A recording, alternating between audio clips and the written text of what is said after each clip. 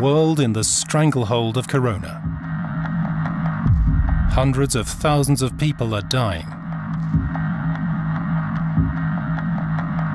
The streets are deserted, the global economy is on its knees. The start of a unique race against time across the world.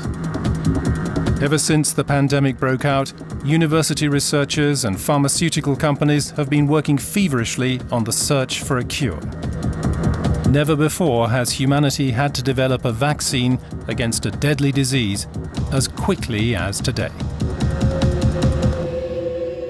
The globalization is completely different, and the speed at which these things come is are completely different. That means we have to be ready everywhere because uh, in a few hours or a few days can be around the world. Lifetime achievement goes to Dr. Rino Rappuoli. In 2017, the European Patent Office honoured a man for his life's work who now, in the year 2020, could save many lives. The biologist Dr. Rino Rappuoli continues to devote his scientific life to the development of vaccines. Rino Rappuoli is now the scientific director of external research and development for one of the major players in the pharmaceutical market. And there's a good reason for that. This man has turned the development of new vaccines completely upside down. When I started my career in vaccines late in 1980s, early 90s, uh, to make a vaccine, you need to do one thing, which was to grow the microorganism that causes the disease, which was a, a bacterium, uh, a virus, or a parasite.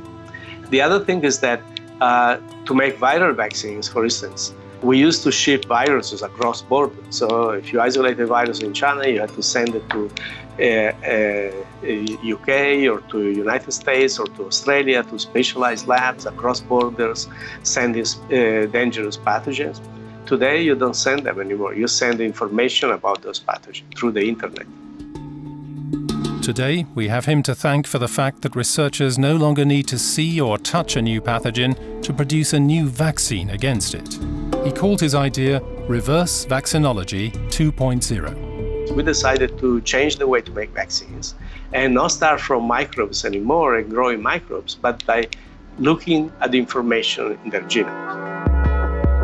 His idea, when searching for a potent antigen, Rappuoli first looks directly at the genome of the pathogen, without touching the pathogen itself. We call this new way of making vaccines reverse vaccinology. And the first and important thing is that you don't have to expose people in laboratories uh, to uh, dangerous microorganisms. Today, you can pick through the genome the only piece which is important for, uh, to make a vaccine, make that synthetically in the lab, and use only that to protect people. The risks of becoming infected with the pathogen when working are therefore zero. Rappuoli's method is not only safe, but also extremely fast.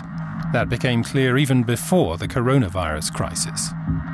Well, in 2013 was a similar situation. Basically, uh, on the Easter day, the Chinese posted on the internet potentially pandemic influenza virus H7N9, and uh, at that time we started from the sequence uh, on the internet. We made a synthetic gene, and in one week we had the uh, vaccine made in the laboratory. However, at that time, we were the only lab in the world that we could make it. The big difference today is that 100% of the labs worldwide are using 2.0. If we can all lead a normal life again in one year's time, we'll probably owe it to one man in particular, Rino Rappuoli. A man who has made it his business to save lives. I believe there is no better job in the world.